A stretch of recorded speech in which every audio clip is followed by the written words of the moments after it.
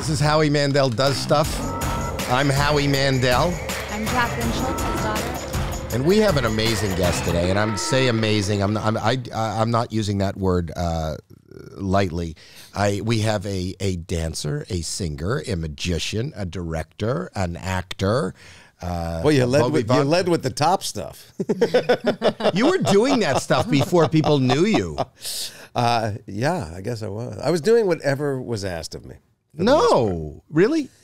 Well, I loved I loved uh, uh, musicals and I loved singing and I loved that stuff. But um, I was not a dancer until somebody said, uh, "There's dance in this." I go, "Oh, I dance, I dance, I dance." I mean, I was I took tap lessons as a kid, but I wasn't a dancer. You know. The fact that you took tap lessons as a kid makes you a dancer. Okay. A dancer is somebody who dances and has the acumen or the. Um, why am I defining dancing? and also a podcaster. where You do it out of the same building. The uh, really no really uh, podcast, which is fascinating, and it is uh, with my buddy Peter Tilden. You and Peter Tilden have been friends forever, and it and you you cover. Uh, uh, uh, a plethora of subjects where that make you say, Yes. "Really?" We, that make us say, really, no, really. We've started saying it's the stuff you really need to know that you didn't know you needed to know. And it's it's it's really fun. It's it's stuff that you go, the minute you hear what the subject is, you go, yeah, I want to know about that. Like you can die, you can you can drown during a spacewalk. Really? Okay, I want to know about that. You can No, uh, really? Yeah, you can. There's No, a- I'm being serious with you. you can. We had uh, Garrett Reisman, uh, uh, uh, wonderful NASA astronaut. I think he's he's the second or third longest American astronaut to live on the space station. And we were talking specifically about space space junk and the buildup of space junks, um, uh, stuff that we've left, uh, you know, in orbit that breaks up and breaks down, and it's all traveling at seventeen thousand miles an hour plus, um, and how the more of it that builds up, every time we try and send something through that belt of our of our gravitational pull, he talked about going out on a spacewalk to repair something with another astronaut, and they went out and they brought back uh, something about the size of a, a hubcap that was three inches solid aluminum, and it's a solid piece, and they bring it back and they get in the airlock, and when they get in the airlock, they realize that there's a hole in it straight through that wasn't there when they picked it up, which means that some little particle of debris in space shot through that thing like a bullet while one of them was carrying it under his arm. So, and they both looked at each other and said, if that had hit one of us, you realize we're gone. What does But that have to do with drowning? So with the drowning thing, there is uh, Garrett had a thing. So inside, they, when they do a spacewalk, they can be out there for five, six, seven, eight hours at a shot. So there's a little hose right beside their mouth where they can turn and sip from a large tank of water. Well, he had a broken gasket on that valve, so he went to sip from it, and now it starts leaking water into the suit, and it's filling his helmet. And he goes, I don't know a, if this is going to stop and I can continue this mission. B, should I head back in now? But even if I head back in now, it's going to take me 30 plus minutes to get in and decompress from where I am.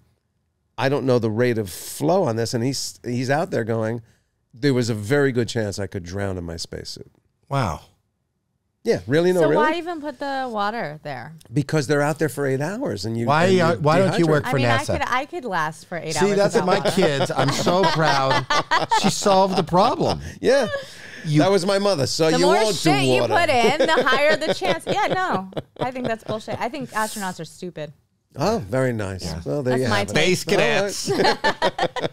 so, uh, uh, you are, you actually are, of, of, uh, I don't really know you, but I know you.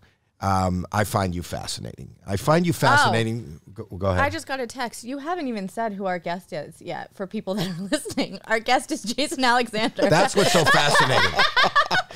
Really? No, really. Yeah. Some guy with a podcast who knows how to tap Guess dance. who's I on? love that you're texting me though. Why wouldn't you just Why wouldn't you just say it on the microphone? Really? It- you're Jason Alexander. Oh, I thank God. Jay Greenblatt or Gre- Jay Green- Greenspan. Jay Greenspan. Greenspan is your real name. Yes, Jay Scott Greenspan. Jay Scott Greenspan. Alexander's your dad's name. Alexander was my dad's first name. Yes, and uh, Jay is not short for Jason, is it? So my my parents named me Jay, J A Y, Yeah. but my mother always called me Jason. Why? Most people woman. shorten. Uh, I know she called me uh, often, especially when she was um, playing with me, when she was having fun with me. She would go, Jason. Uh, but uh, just a lot, and I always thought I, I am uh, still a small uh, and round person, but I was smaller and equally round when as a child, and I thought a little name just didn't quite fill the space. I was You know what fascinated up. me about about uh, the, way you look. You and I, and and uh, we won't get into this because it's it's it, it can be. Uh, what we uh, represented um, uh, little that nine year old little boy that got released. Yeah, We we we uh, in in uh, the Ohad. Israeli Ohad, yeah. Ohad. Was a nine year old that got kidnapped in Israel on October seventh, and they asked uh, people of note to post this online, and then our uh, our kid got released. yeah, he was in the first batch of. He was in the first batch of kids. But in your post online, you go, "This is me at nine years old." You look exactly the same with a different hairline. we'll post that, but it's d- d- as anybody you can tell it's me. That's for but sure. But you've yeah. n- you have not changed. You're one of the few people yeah, my you have. face has stayed relatively the same, and I just had to shave today for a thing I'm doing, and so I don't even have the goatee to You shave for this podcast. for this podcast. That's exactly right. Uh, you know how honored we are but you do you so my understanding of uh, in in doing research is that your first love not because somebody was telling you to do it was magic Yeah, yeah. Uh, I yes, because I was, and we've talked about this a little bit.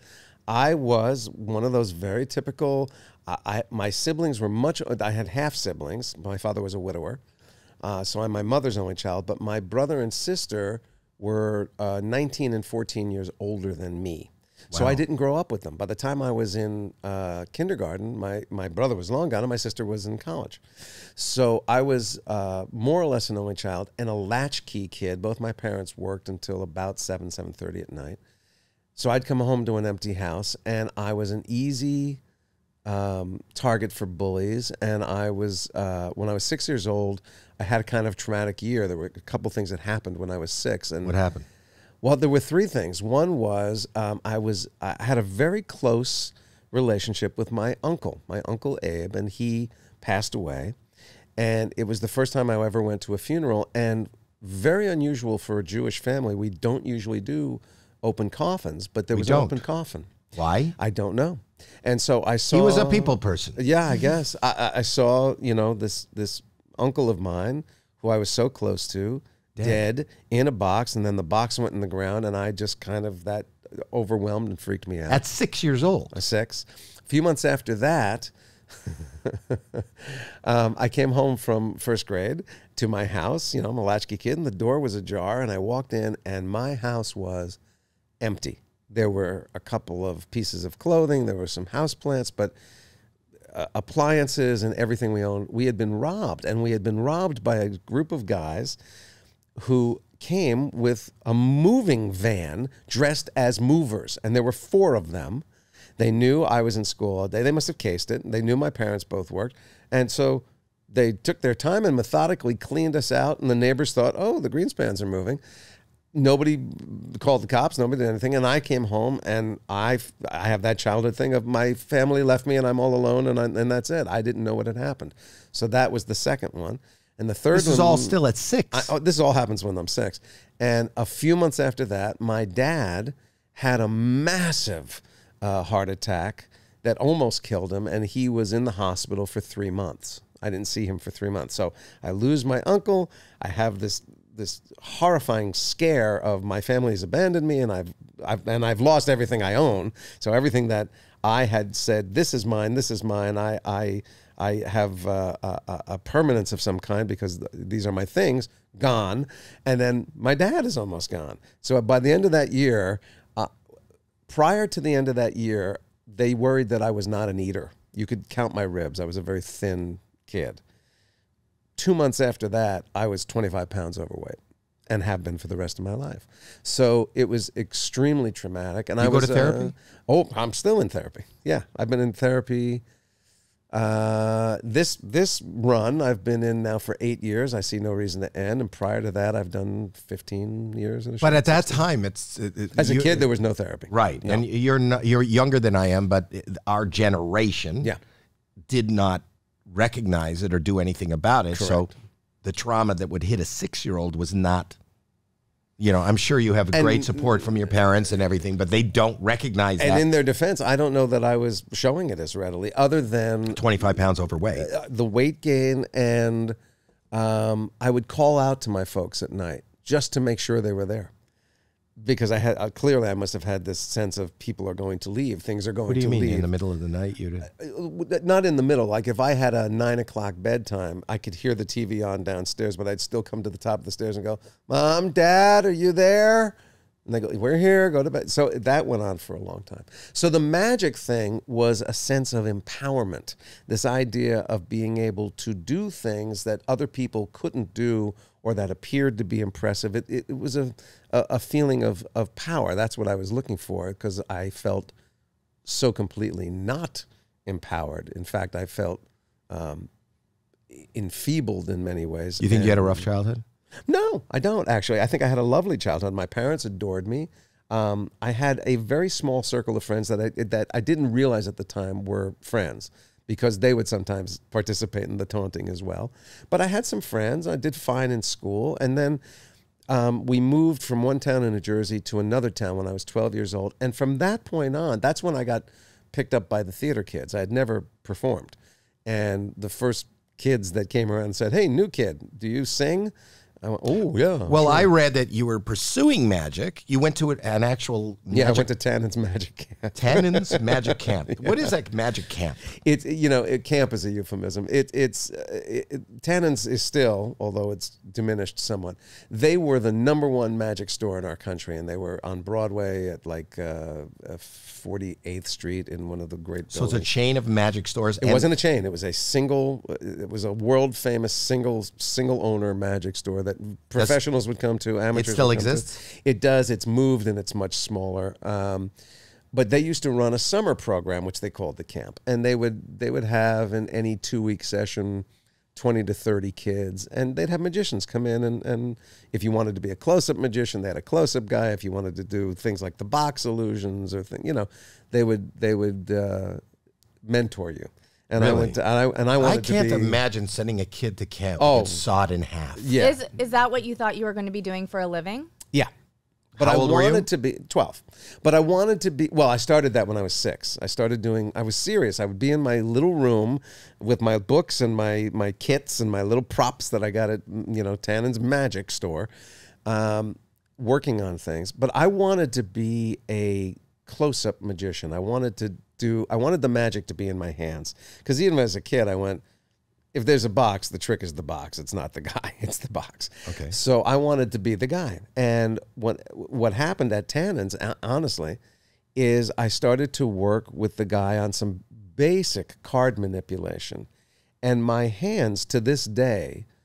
are so small that a standard playing card, if I go to palm it, some corner will stick out somewhere.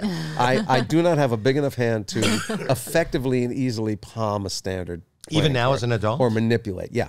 So, and you know, if you take cards out of the equation as, as a close-up magician, you, you you've diminished your repertoire quite a bit. Though I know So- that you've gone to the the I magic. was I am an award-winning magician at the Magic Castle, but I did not do a close-up act. I did a uh, the the act I did was based on mentalism tricks, and I presented them in a very different way. And I actually got the award more for the uniqueness of how I presented these things. Can you do a mental trick for us now? I know you Could I? Yeah, like show me a. if it's The mentalism, keyword is trick. It's a trick. Did I Don't bring the it. props? Uh, oh, no, I didn't there's just props for it. No, um, almost every mentalist. uh, I know a couple that do some things. That Well, don't don't don't ruin fun. it for me. But almost, almost, uh, you know, magic is magic. It's a trick. If uh, they're not saying, No, "Hey, I'm psychic," here's how you know if a mentalist is a mentalist. Some magicians You don't should won't say a it's judge on a- on won't say it's a show. trick. They They will not say that it's. I a know. trick, Well, that's yeah. a problem. For You're going to give away this behind the scenes. No, but if you're a, if you're a mentalist, I should be able to go. Okay, I'm thinking of a color, or I'm thinking of a number. I'll tell you what. I'll, I'll make it easy. A number between one and five, and they should have no problem going. Oh, I, I know exactly what it is. That's that's a legitimate mind reader. Uh, if you if you can't do that, and I they're can. not doing I that, do it. I do something called um, uh, instant psychiatry. Oh, sure. I can do that. Can you? I can. Would you like to demonstrate? Okay. Sure. All right. I need to? Okay. So I we have not. We have you- not met. We No, we have met. We haven't set anything up. I don't. We didn't set anything up. Right. And I we have. There's been no discussion, that is correct. and I didn't know that I was going to ask this. I, I have no. I don't have a You no. have nothing. That's right. I have nothing. Okay. People are going to think we set this up, but I can do instant mind reading. Okay. Okay. We didn't talk about this. Jason, what is your favorite color? My favorite color. Yes. You want me to tell you? Yes. Purple. Purple. We That's not- amazing. It is. That is amazing. You amazing. can do it with numbers too. yeah. Yeah. What, okay. Pick a number. I'll, I'll even say from 1 to 30. 30. Wow. Okay. Uh, 22. 22. That's right. That's That is amazing. remarkable. So I have this I've never connection. seen. I've never seen anyone else do it like I that. No, sometimes miss. I have not. I sometimes miss if the if the um, the person if my and I don't know why this doesn't work, but if the person that I am doing it to Yeah. is very soft spoken, it's harder for me. I und- yeah, I could I could see that because it means that they're not projecting either in vocal or probably through their mind. They're not a projector. What's your favorite movie? Uh, Field, Field of, of Dreams. Dreams. Right With Kevin Costner. there you go. That's amazing. amazing. It is amazing. Ta-da! It's hard. I, I don't. I don't know. So and and I will tell you. I know that you were besmirching the. Uh, And that's not a trick. You don't no. consider that a trick. that is not, not a a trick. trick. No. There is nothing up No. my sleeve. We did not talk before. You I don't know have I'm to going to bring see in the comments. You in the comments, tell you're going to go, "Oh, you talked." We didn't. Never spoken. We never spoke. No, well, we've spoken, but not about that. Nope. I just want to be totally. And um, you know what I'm going to do? I'm thinking now because people are amazed by that. I maybe have a camp. Maybe I'll have a camp. Now have a start a camp. I'll start a That's camp. creepy. Yeah. Don't have a camp for kids. Camp I Mandel. didn't say No. for kids. For, for adults? For for adults? whoever wants to learn. Who the wouldn't want skill. to learn to do that? Come on. All right. I'm not going to have a camp. So you, the, your, he told you your hands are too small. Was this a? Uh, He didn't say get out of magic. He said the close-up magic is going to be challenging for you because it translates to even things like coins. You you will find the Oh, you best. can hide a coin. I can hide a coin, but you know, coin is about manipulation, and I have sh- short, stubby fingers, and so I can't. Some of the stuff that comes very easily for other people is a struggle for me to do the same manipulation. So I knew it wasn't going to be the card I lead with, so to speak. Hence Um, tap dancing. Hence tap dancing. No, so I, I got dragged into a show by these theater kids. And what got me was not performing, it was community. I never had a team. I wasn't a sports kid. Um, I, I didn't, I, I was fine in school, but I didn't, I wasn't a math kid. I wasn't a science kid. I wasn't, uh, you know, especially in elementary school, you didn't have all that stuff.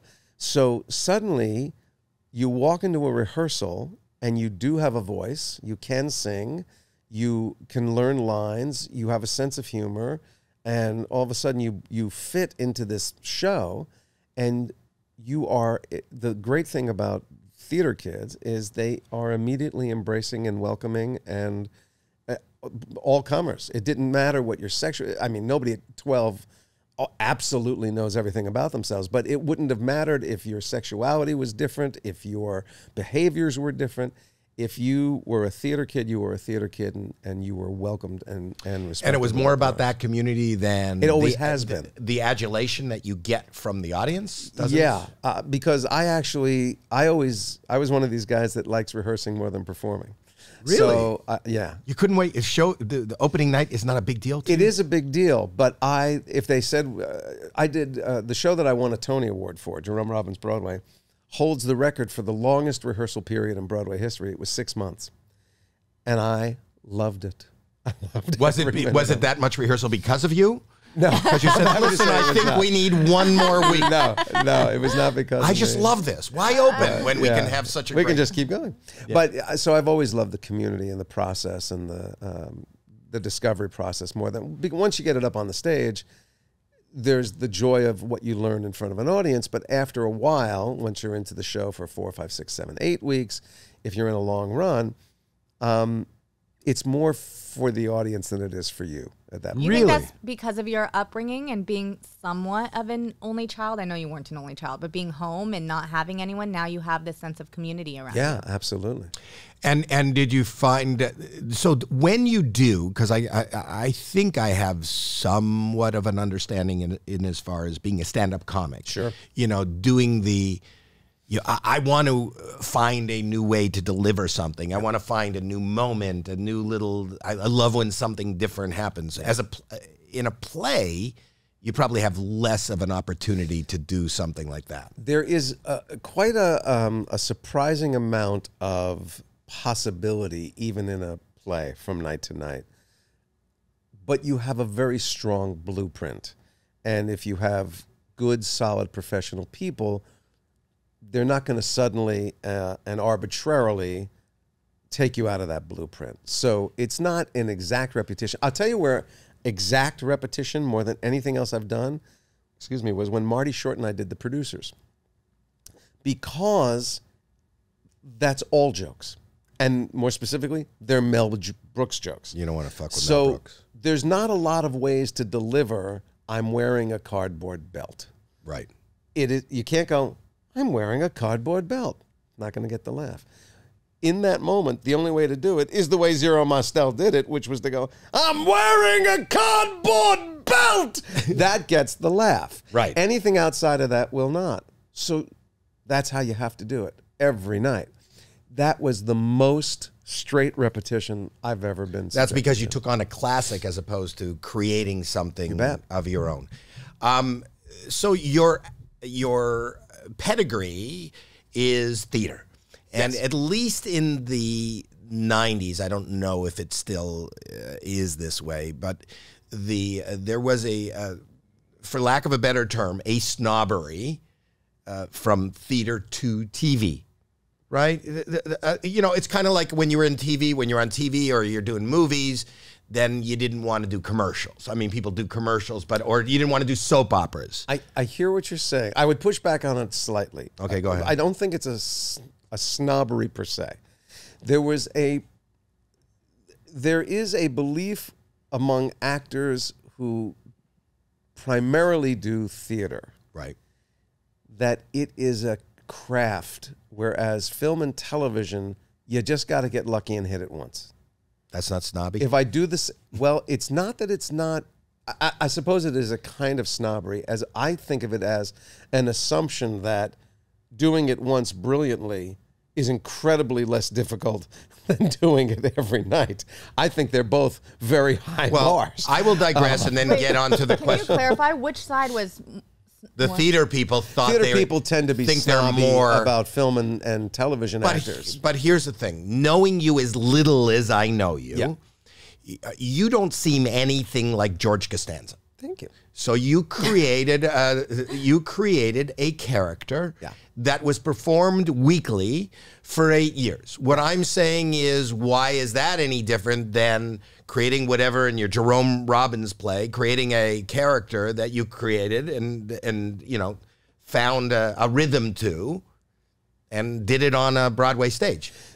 there and actually if you're going to use Seinfeld as the role model to me Seinfeld was more theater than television Uh, so my question was, yeah when at this time, having spent all of your career basically, I think you weren't even doing film yet. You were you were a theater actor. I had done a little bit but I I had done a small series I had done a little bit but I was primarily a stage and so now you're actor. offered a sitcom. right Uh, not only are you offered a sitcom, but you're offered a sitcom from people that, for all intents and purposes, have no uh, pedigree in sitcom at Correct. the time. You know, it, it's not Jim Burrows. Right. It's not the people. And uh, Yeah. Jim Burrows is a is a well known director who created like he was he was there for like Taxi and Yes. all these big shows. Right. If you're young enough to, to old enough to know, Uh, there was a time when there was a huge boom on sitcoms and the uh, creators and the Gary Marshalls and the Jim Burrows and all these people, these names were the uh, Academy Award winners of whatever sitcoms would be. So to be offered uh, for a theater, Broadway, Tony winning actor, to be offered a sitcom being uh, steered by Larry David, who had no reputation in sitcoms. Right. And um, I even know that because I did a sitcom for Castle Rock at the same time that they did the Seinfeld Chronicles pilot. Oh wow. And then my pilot didn't go forward, and the guy, what's his name? He became uh, Sim- uh, he became Da- Larry David's partner on it. He was actually the showrunner, and then quit after Oh uh, yeah. Baron? Somebody Baron? Maybe. maybe no. Jeff Baron No, I can't remember his name. But if you look at, Fred Baron, maybe.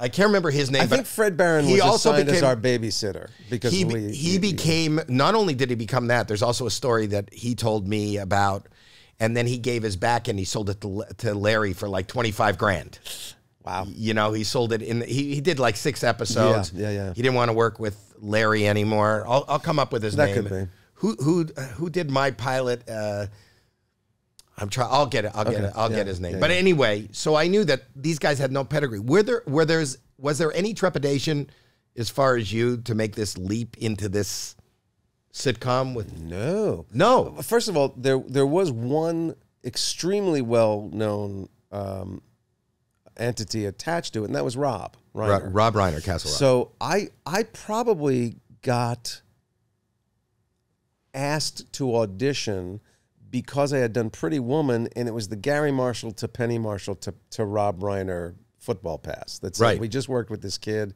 He lives in New York. If you're going to see people in New York, he might be somebody to look at. Um, there was no trepidation because, as far as I was concerned, it was a pilot. Uh, you know, I, I was well aware from having friends that had done a lot of pilots. Most of them don't go. So to me, it was a trip to Hollywood. I was a fan of Jerry Seinfeld. I had seen him perform many times, and uh, I thought, well, this will be fun. This will be a lark, and I I thought it would be a pilot, and probably that would be the end of it. Were you surprised by the success?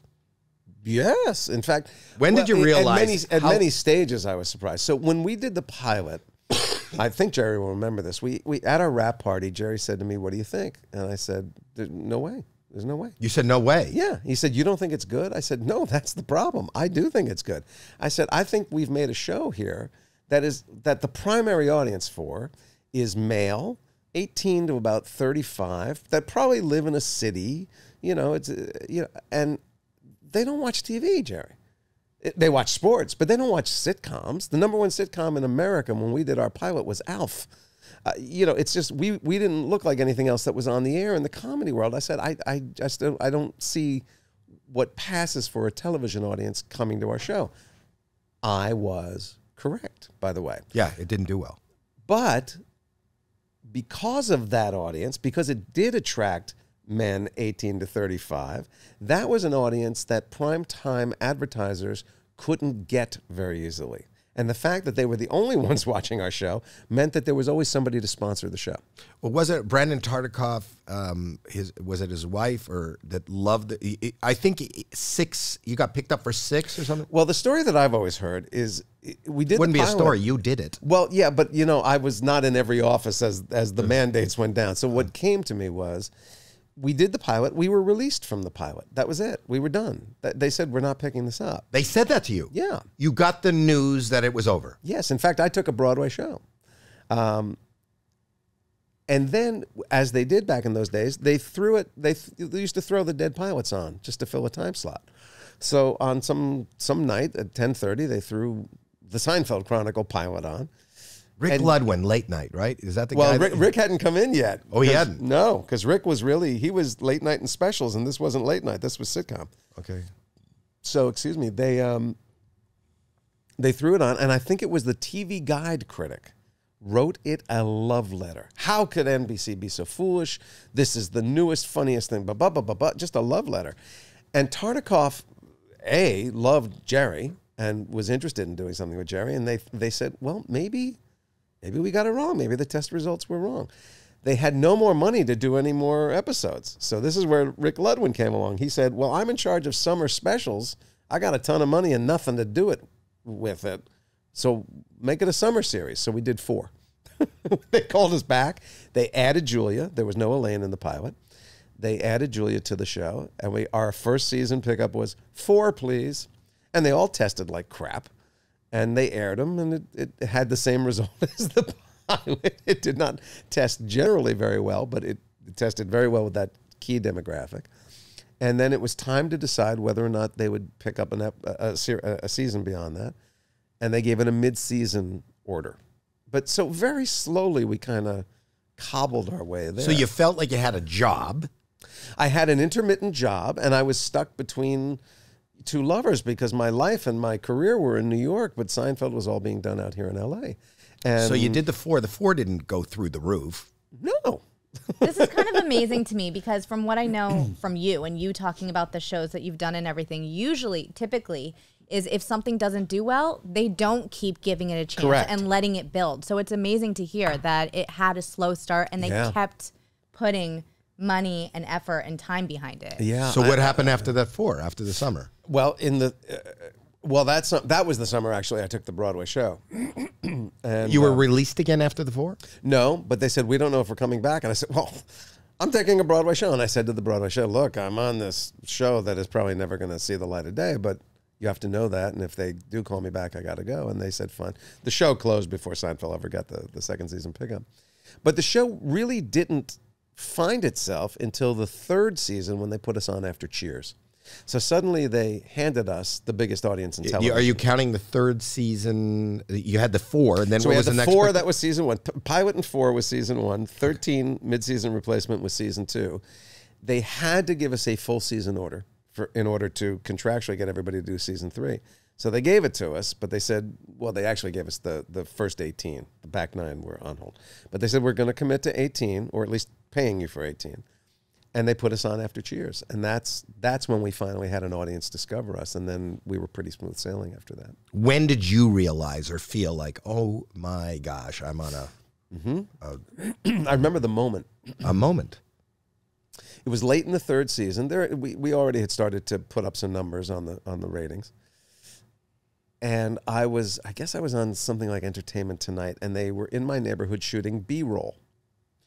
And the B roll was the reporter and I walking down the sidewalk in my neighborhood. And as we were doing that, a van went by, a family in a van, happened to be a black family. And a little girl that I'm going to estimate was eight or nine years old yelled out the window, I love you, George. And I went, What the hell is she watching? How is she watching our show?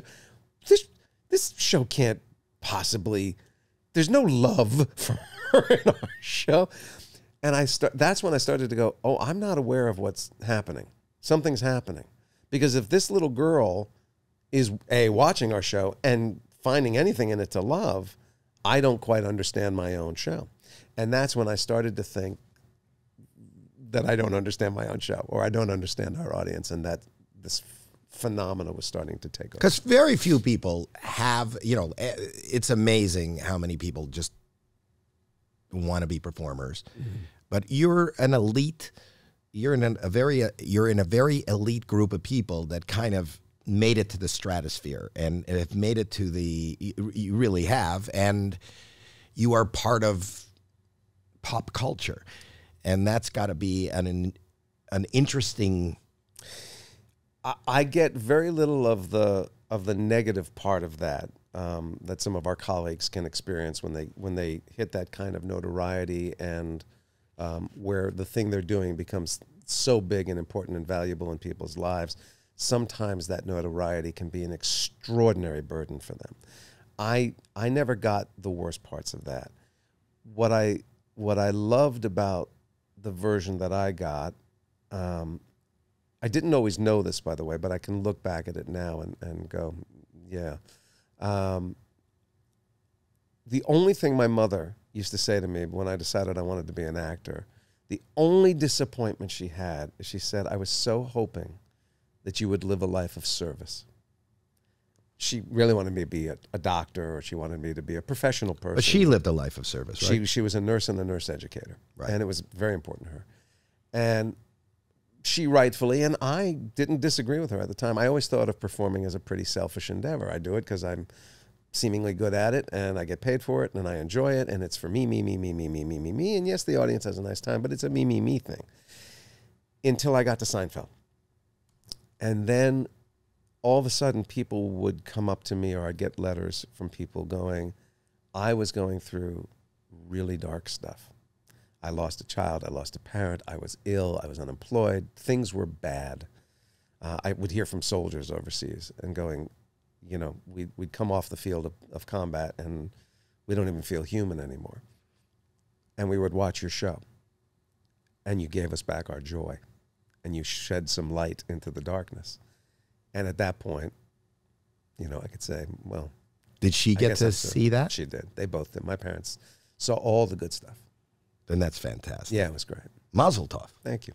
Yeah, that's naches. It was naches, which is uh, the, And gi- a good feeling you give your parents. Uh, Yeah. uh, parents always want to see their children doing good. This kid gives me a lot of Yes, lots of kvelling. I do. I do. That's why I'm sitting here with her. I got you. 'Cause I'm wonderful. She I can keeps see telling that. me. um, at what point did you realize that the character that you were playing is basically Larry? I wish I could tell you. It was an episode, and I wish I could remember what the hell episode it was because people have asked me for years, and I still can't put my finger on it. but it was early on. It was it was in that thirteen pickup, and my role model on the character had been Woody Allen. When I first uh, the first bit of scripting I ever saw for the audition was just six pages of a scene. I didn't have Larry or Jerry or anybody to tell me what the hell this thing was, and even what context this scene was in the rest of the script. So, excuse me, I read it and um, I went, well, feels like a Woody Allen script. So I went, fine, I'll do that. I'll do Woody Allen. So I went out and got glasses and I, you know, forget New York, forget what eventually became New York. I was I was doing the finest Woody Allen impression. You were talking that I could. That this is how I did the audition. It, Jerry, with the sputtering and the spitting and the whole thing. And I and I and when I did it, I went, yeah, that that's the end of that. I'll never. Thank you. Mm-hmm. Thanks. Thanks for calling me in. But that was the only thing I could think of. And uh, a week later, I got a call from Larry, who I'd never met, and said, "We love it. We love everything. Come out. You'll read for the network. Mm-hmm. Uh, Do the New York, just not quite Woody voice, you know." And so I backed off the Woody voice, but he was still in my head. The the cinematic essential character of Woody Allen that we've come to know is what I was thinking of George. But uh, somewhere in those first th- uh, 13 episodes, there was an episode where when we read it at the table, it struck me that the basic situation George was in was absolutely absurd, that it just was a writer's bit of folly and imagination. So I went to Larry after the table read and I said, Larry, help me. We both know this would not happen in real life, but even if it did, no one would react like this. So you're going for something. What are you going for so that I can figure out how to get there for you? And he went, I don't know what you're talking about. This happened to me, and this is exactly what I did. I think I read that story. And- I, I told you that. I heard you'd say. I think it was. Was it when you got fired or something? No, that was much later on. I, at Oh, that point. I knew that You that knew Larry, him? because what happened shortly after that, when I when I made that discovery, and I went, Uh-huh. "Oh my gosh, I wonder if George is actually sort of an avatar of Larry," and I started doing something. First, I started really observing Larry, and Larry has a physical thing that he does that I used as my linchpin of understanding George, and it seems like a small thing, but if you've watched Larry perform, you've absolutely seen it. So whenever he experiences or hears something that he's not sure how to react to, like was this a dig? What is the intent of the person saying this to me? Larry does a thing where he takes his tongue, puts it at the bottom of his bottom teeth, and he does this face. He goes, and in curb it leads to pretty, pretty, pretty good, right? You know, but it's that sort of well, you you did something there, didn't you? You you did something there, and he's thinking about how he's going to respond to it. And I went, that's George, that's George. George isn't oblivious to how everyone thinks of him.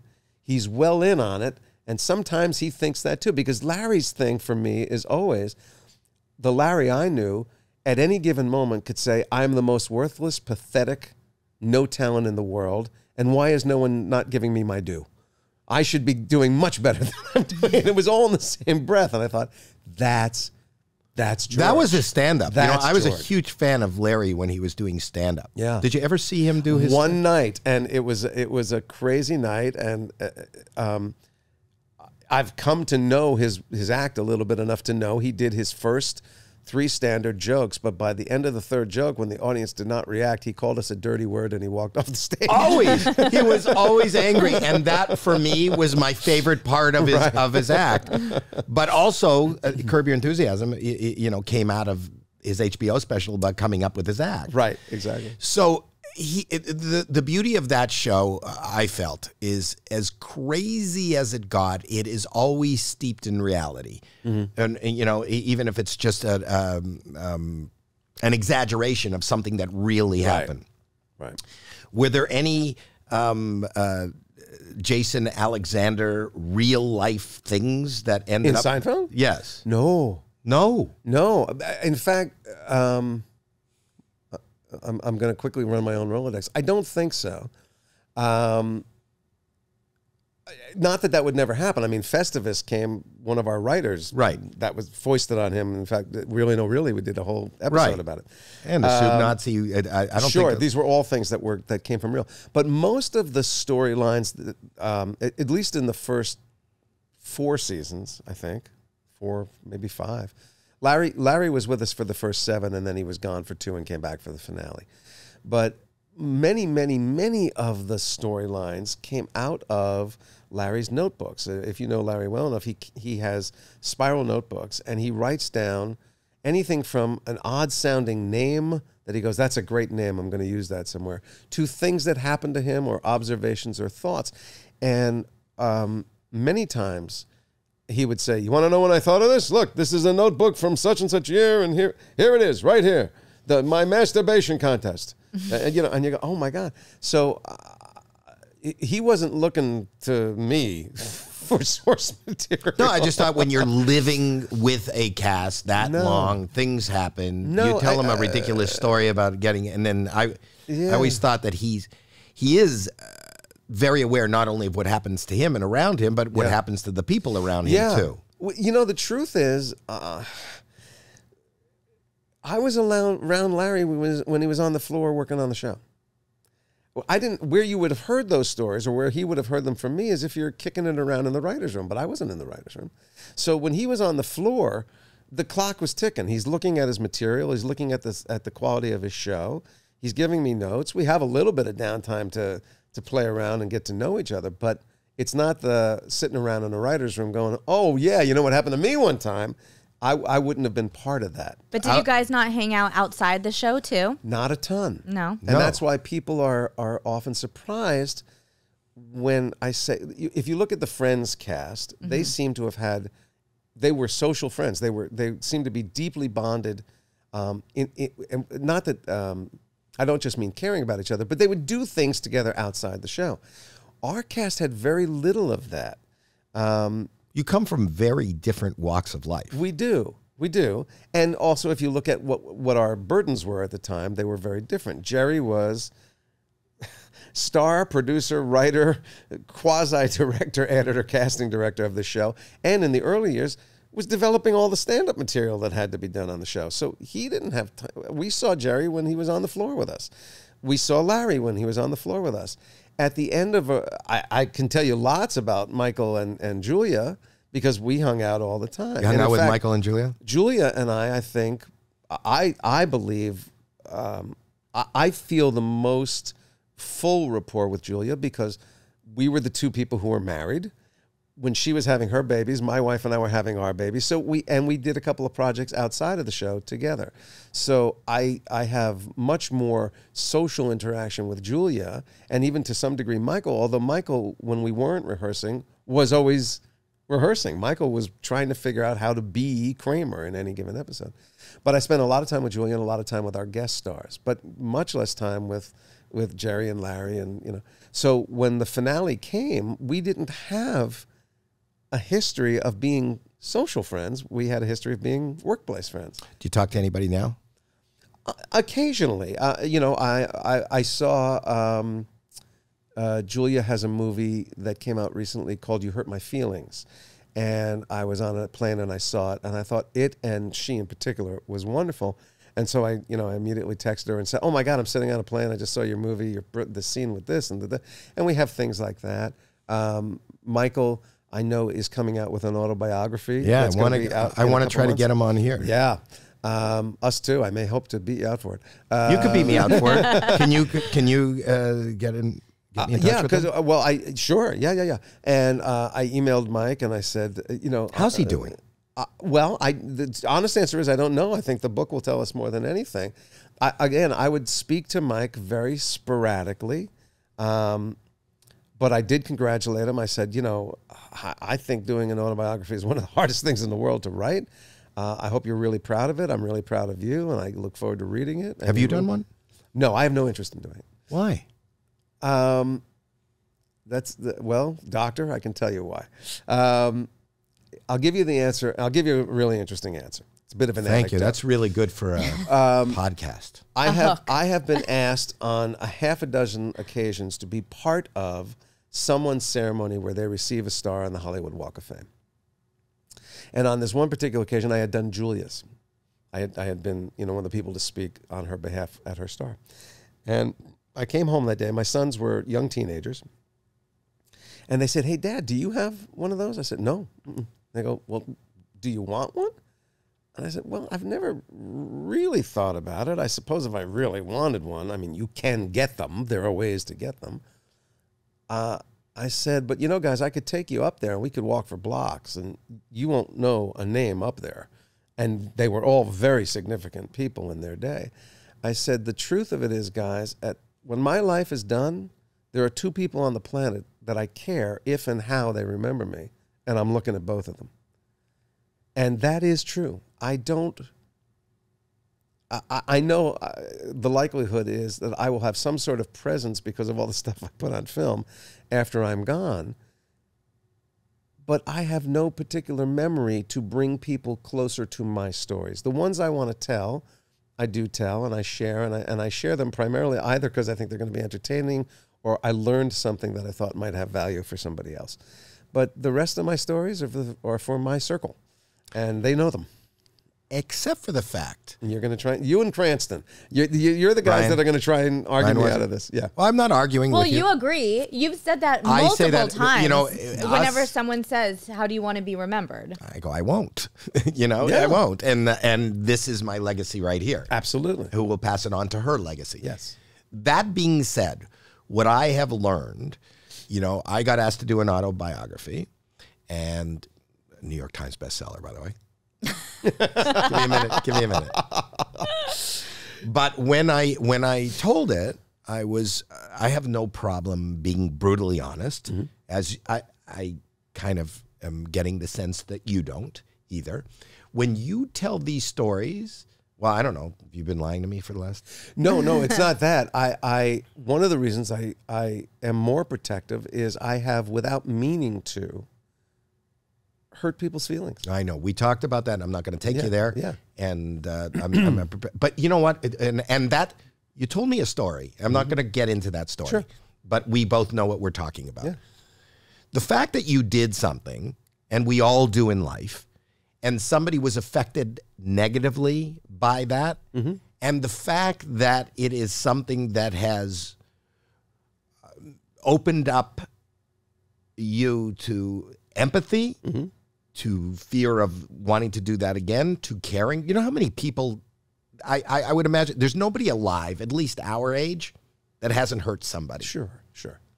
But there are many people alive who have hurt people who don't give a shit I'm sure that's true. because it's about me. So the, the fact that you care and you don't want that to happen again and you fear that kind of draws me closer to really respecting and liking you as a mensch, as a human being, as somebody, because I think those are few and far between.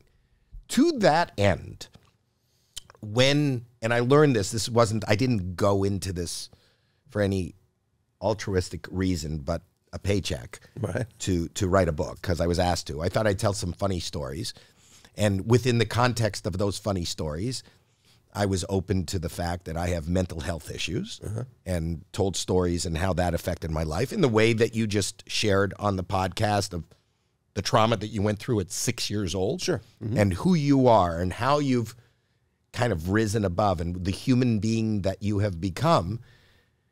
It, in your mother's wish, the fact that you share those stories, it gives people that you'll never meet, that you don't know, comfort. Mm-hmm. So if somebody wants to write you a check to basically journal and have a diary and share, mm-hmm. it's not about notoriety or fame or that star. It's about how do we learn? We watch, we follow in the paths of others. Mm-hmm. We see how they live their life. We see, you know, there are people who have gone through even less than maybe what you have described at six years old, whose lives are just shut down, stopped. I mean, you mentioned in the first 15 minutes of us talking being a latchkey kid Yeah.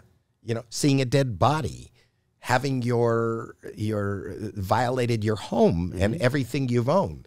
That's enough to shut people down. Sure. And I would imagine, you know, that leads to mental health. These people, we have a lot of problems in society. So I think the more we share, I'm not telling you to write a book, but I'm saying that you're looking at the the reasons uh, we shouldn't want a star on the Walk of Fame. That did nothing. You know, it doesn't it doesn't do anything for anybody, and it is amazing at how many of, the, of how many of those names nobody's ever going to recognize. And we're always constantly, as parents, probably talking to our kids. You, you don't know who so and so is, Right. You never heard of this.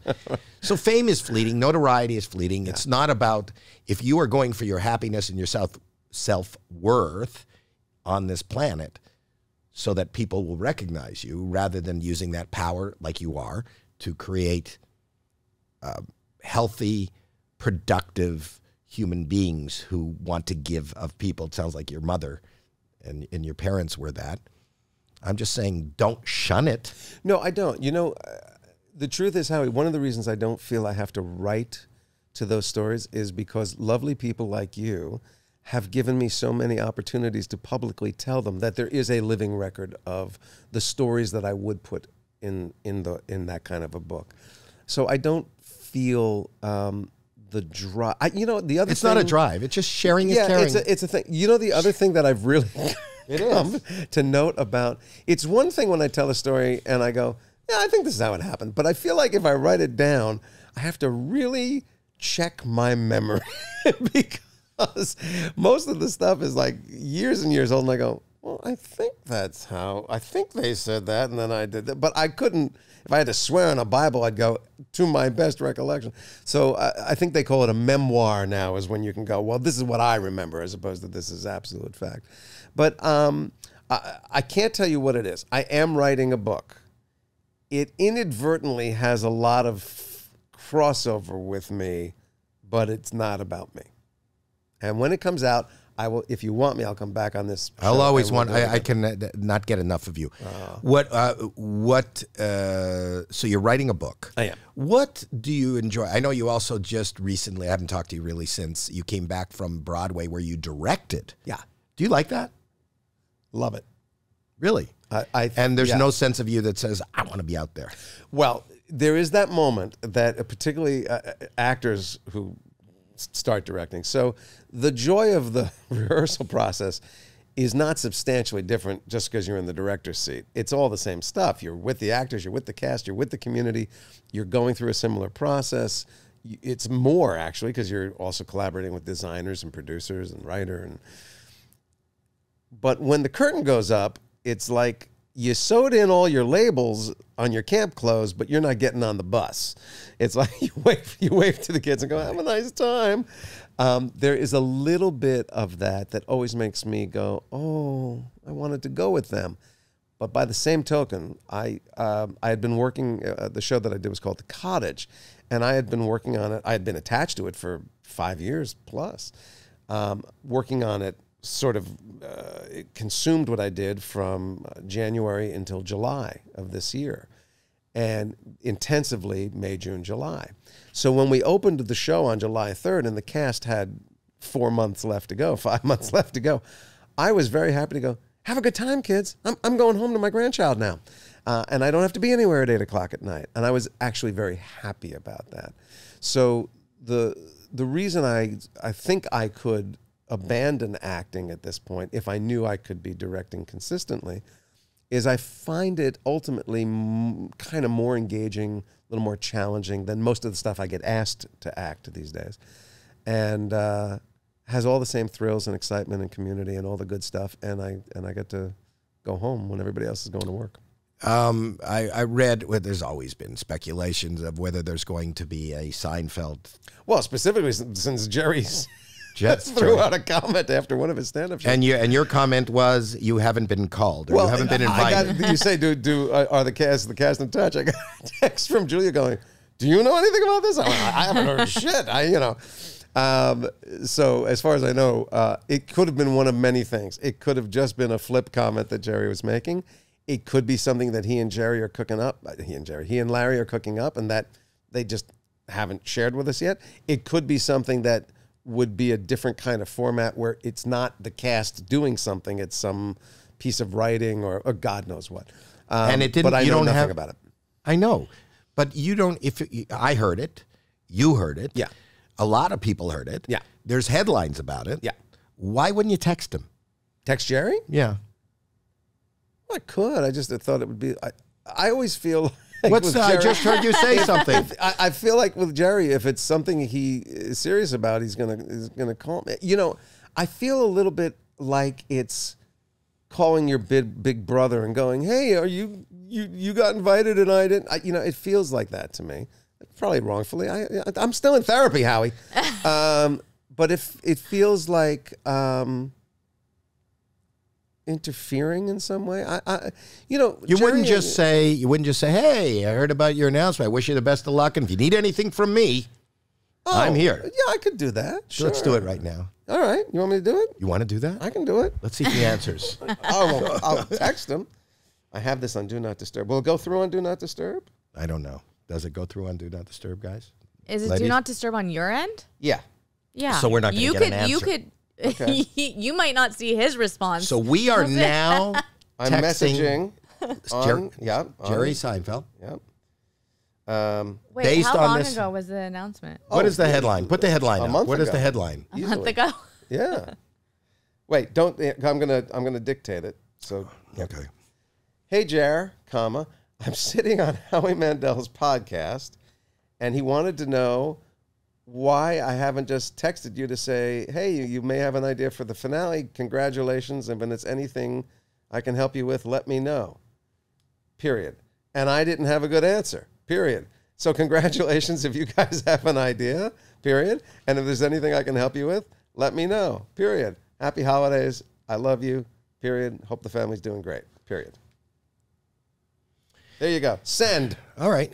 I'll let you know if he texts back. No, we'll just wait. Okay. Have any?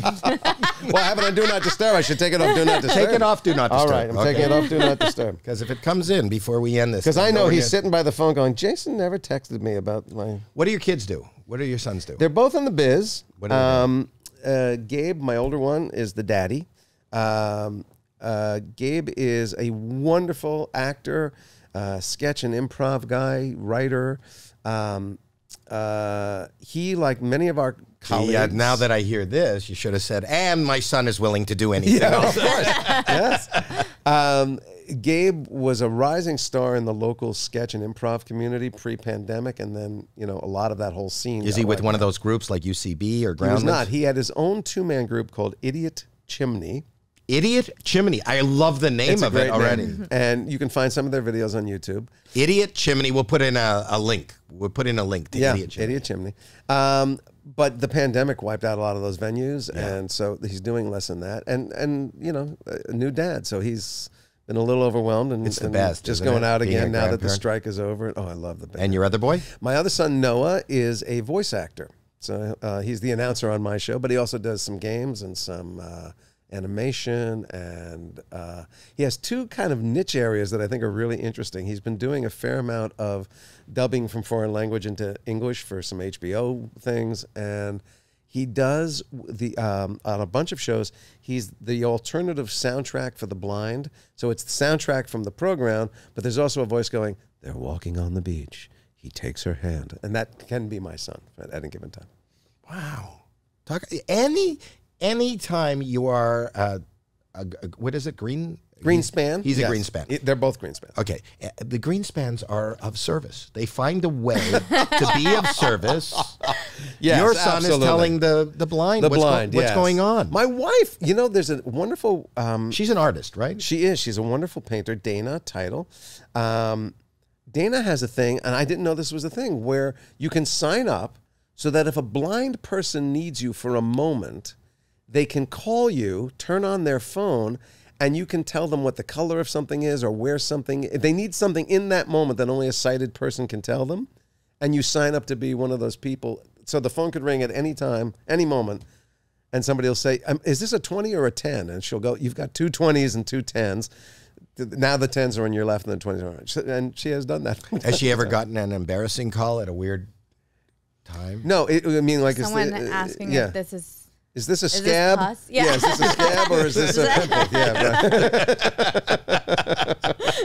I've never heard. What is that service called? I don't know. I don't know, but um, I, I- I'm sure if you Everybody's service. if you Google it, it's it's out there. so she helps the blind, and and Jerry still has not. Uh, Do you see any signs of an STD? What if there's someone just no- there, there's no like sign. about to have sex, and they What? want they want to know if they see any right, signs a of thing? A blind an person STD? about to go Right. down on somebody, Yeah. Yeah, and go, or even it doesn't have to be that. Uh, uh, uh, uh, would I find this a person attractive? Can you tell me?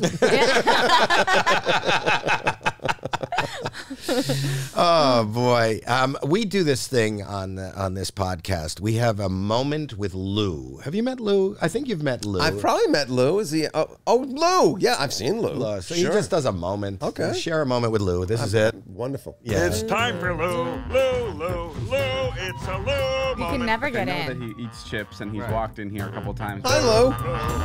Why are you here, Lou? We want some fucking shiplap, How are you? motherfucker. Punch it up, Lou. Hoopity do do. Let me make room for you, Lou. I'm, Oh, there's room for keeping my phone close just in case. Just in case, Jerry. Yeah. Umbrella. It's just a moment. This will be just a Hi, moment. there's a lovely picture of you, Lou. This is, you're not be It's a. Lou This is- Here we go. Special Lou, is it is it Dinos or Dinos? It's Dinos. Thank you very Dinos, much for like. Dino. Yeah. Gotcha. Um, so you know, I do stand-ups. what? I, I'm just reacting to the haze effect that we've suddenly. It's a moment with Lou. How did it not stop? I do a lot of It never stops. I It's stuck. That happens every time. Is the mic on now? I I want to has It wasn't on you. It just just was you didn't you. move it to your I mouth. do stand-ups. I've been doing stand-ups, and when I get introduced, Is when it I always do my plural, by the way? That's it's stand-ups. This is what I do. Gotcha. And when I As a 'cause it's comedian? more than one. I'm, I'm a comedian. I do uh, stand-ups comedy. Okay. and, and when I when I do get introduced, I asked him to say that I've been on the Howie Mandel podcast Right. Uh-huh. over seven thousand times. Yeah. This is what the introduction is. And let me give you an example. I'm going to be at the Ice House on the 13th of January. This is just a plug. on Are you just plugging something? no, I'm giving you an example of how He's being this of introduction- service. All right. I'm going to be at the Ice House at, in Pasadena on the 13th of January, 8 o'clock, and they're going to say, ladies and gentlemen, our next stand ups has been on Howie Mandel podcast over 7,000 times. That's a real good example. It's time for Lou. That's Lou, fantastic, Lou. Oh, he fell. Lou moment. I know You knocked him over. Wow. Oh, am I getting another autograph? I'm Why getting you here, another Lou? autograph. Some fucking shiplap, motherfucker. Is it for me again? Shut up, Lou. It Yeah. says to Jason on it. No. Do you want it? Does it it? say to Jason? Oh no, it says to Jackie. I read it wrong. I'm very sorry. You want it? It's all good. No, no. I have like four of them. I No. have four. Do you want? It's all right. No, Never okay. enough. Never Thank enough. Thank you. All right. See ya. It's Monday. It says. Happy holidays, Lou. Oh my gosh. Happy. Wow. Wow. It's not often you meet a stand-ups comedian. Not often. and he's willing to do a moment on really, no, really. I would imagine if that happened on your podcast, the entire uh, audience would say, "Really?" Oh, no, yeah. really. Or they'd say, re- no, No, really. really. many readings, many readings. Yeah. Um, the, your podcast is available wherever podcasts are available. Wherever, and there's new episodes every Tuesday. And you, if you like seeing faces, you can do exactly what you do here and watch on YouTube. Uh, watch on YouTube and comment and subscribe. Sure, and please make a comment. We always say if you have a really, which is something that you have seen or done or been a part of that you can verify, that makes people go, really? We'd love to hear about it. Maybe we use it on the show. I say that just about every time I get my prostate checked. I say, hi!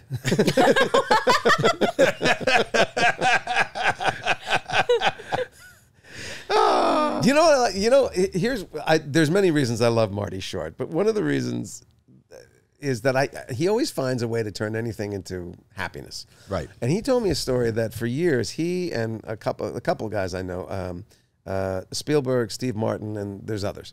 Nick, Uh, Hanks, drop- maybe. Hanks, maybe. Dro- drop some more. Yeah, uh, not me. I'm not in this group. No, but you're dropping Um, those yeah. names. would would schedule their colonoscopies for the same morning.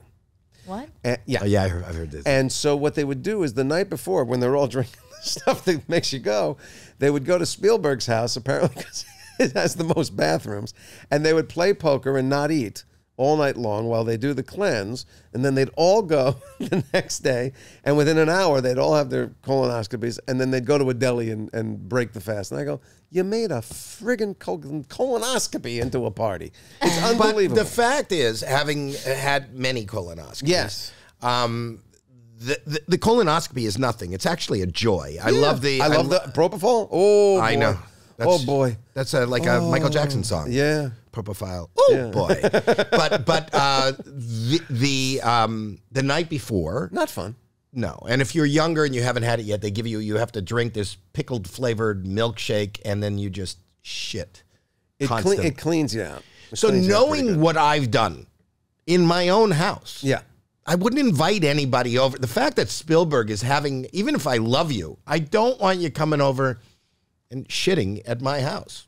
then you won't be invited. It's all right. Yeah, you I should was say never this invited. publicly. Don't you want to be Isn't invited? this publicly? But don't you No. want to be invited? No, you get a chance to sit with Spielberg and Tom Hanks and Marty Short. I and can't think of a better Jason Alexander. bonding experience. Bonding. Yeah, First of all, it's it, it, it doesn't come through. So, uh, solid. It's not solid. no, so you're leaving a trail. What? leaving You don't trail. trail. Splash, a little splash. No. Inside You where leave the water splashes? trickles down. you leave splashes in your bathroom? You, uh, I'm trying to be as. Um, And there's a lovely uh, uh, brush there if you get a little. yeah, you've been to somebody's house where you have access to that brush. It's always right beside the toilet. No. Yeah. of course it it's is. supposed to be. Sure. It's supposed to be. No. Sure. Yeah. I've never And seen in it. fact, I I let me just tell you. I mean, maybe I'm I could be crazy, but I think that is something you do for guests so that they're never embarrassed by leaving something behind that, that could be equated to them. They the have the, guest option. toilet bowl brush. Uh, it's not specifically marked for guests only, but yes, Towels are. A toilet bowl brush is right there. I don't agree with you. I don't think. Your privilege is showing. If you don't brush your own shit off your toilet, Dad, That's your, privilege. Your privilege First of all, it's showing. not an issue that comes up that frequently. Even on the colonoscopy, I don't think it's been that messy. I mean, it goes. I don't get a lot of splash up there. All right. But you know, we in the theater have learned to control these Has Jerry functions. answered? Has Jerry answered? Let's look. Uh, no, no, uh, nope, no. no, he is not. That's okay. Well, if he answers, will you call it? It's extremely possible he changed his number.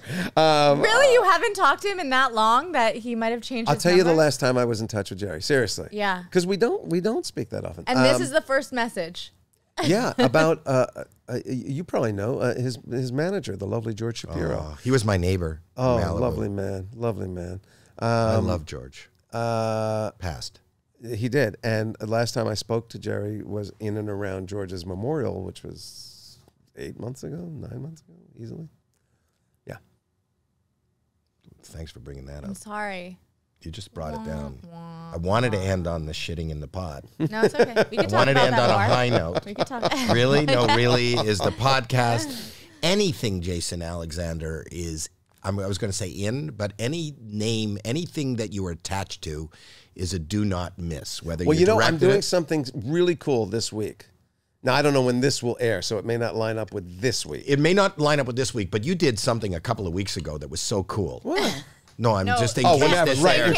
okay. So uh, this Thursday, live on CBS, they are doing a tribute for Dick Van Dyke for his 98th birthday. Many, many, many people performing all his, you know, sort of historic songs, and I get to open and close that show, and I'm I'm Are you so singing? Thrilled singing. Yeah. What are you singing? Uh, I'm singing Chitty Chitty Bang Bang in the beginning. Wow. And Let's Go Fly a Kite at the end. Wow, But um, you've met Dick because he was here doing our I, show. I have. Just, I gotta tell you. It's amazing that that guy, the energy he still maintains. I just did last season, and so did he. The masked, the masked singer. Yeah. But I, I got to tell you, it wasn't a fun show to do, in the sense that, well, first for me, I don't sing, but secondly, to Inside that thing. inside that Yeah. thing, it is hard to breathe. Yeah. And I am decades younger than Dick Van Dyke, and he was such a trooper. He is so amazing and such a talent and such a great spirit and such a light. I'm glad that he's getting, you know, these kind of accolades. yeah. Before. Yeah. So right. We to usually wait So and we do get it to see them. posthumously. Yeah. No, Has he written uh, an autobiography? You know, I don't know. I should. You I'll ask him. You should I'll ask him. You He's should. he's certainly um, he's very good at telling his story, and it's a it's a fascinating story. Because You have a fascinating story. Well, thank you. Yeah, I think you're a fascinating guy. You're a great orator. You're a very, you're a talent. You're a mensch. Um, is your mother still with us? No, she passed about five years ago at the Oh. age of ninety eight.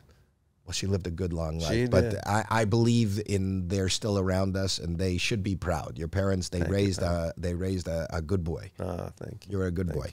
Anyways, uh, this is a subscribe and comment. Uh, go to howiemandel.com. We have new, uh, brand new merch. We just got brand new merch. That's good. What is it? I don't know. Oh, Where is I don't think. I don't think Sorry, miss. Sorry, I should know not to lob in a question. No, no, that's okay. It's it's new. It's merch. It's new. I don't know. Really? I, I'm just saying. What? Re- really? Really? What? Really? "No, No, really." really. Really, no, really. No, really. Oh. Really? We got brand new merch at howiemandel.com. Jason Alexander. That's it. God bless. You're great. I hope that was painless. Um, I just got word from uh, Jason Alexander that uh, Jerry Seinfeld texted him back, and uh, he wasn't even expecting it, but um, he said he.